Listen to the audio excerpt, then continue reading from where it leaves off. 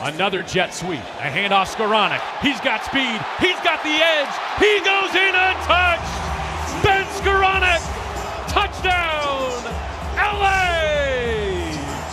His first as a pro gives the Rams a lead deep in the third quarter.